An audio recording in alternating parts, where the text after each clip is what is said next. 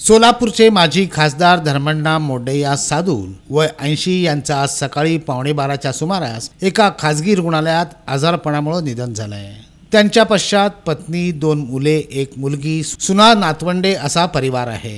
शहराच्या पूर्व भागातील विणकर पद्मशाली समाजातून आलेले धर्मण्णा साधून हे पूर्वाश्रमीचे काँग्रेसचे निष्ठावंत नेते होते.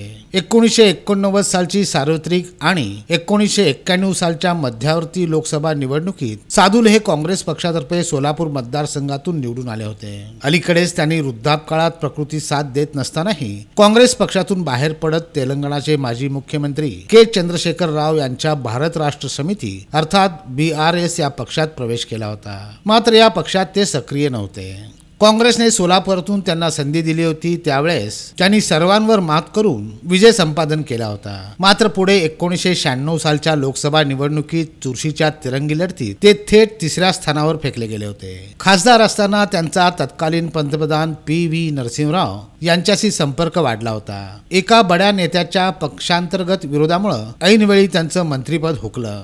एका सामान्य कुटुंबातील धर्मांना साधवल्याने तरुणपणी काँग्रेसच्या माध्यमातून राजकारणात उतरल्यानंतर प्रथमच एकोणीसशे चौऱ्याहत्तर साली सोलापूर महानगरपालिकेवर निवडून गेले होते. त्यानंतर एकोणीसशे पंच्याऐंशी साली पुन्हा निवडून आले असता त्यांना महापौर पदाची संधीही मिळाली होती. ज्या सोलापूर जिल्हा सहकारी उद्योग बँकेत ते कर्मचारी होते त्याच बँकेचे अध्यक्षपदही त्यांनी भूषवलं होतं.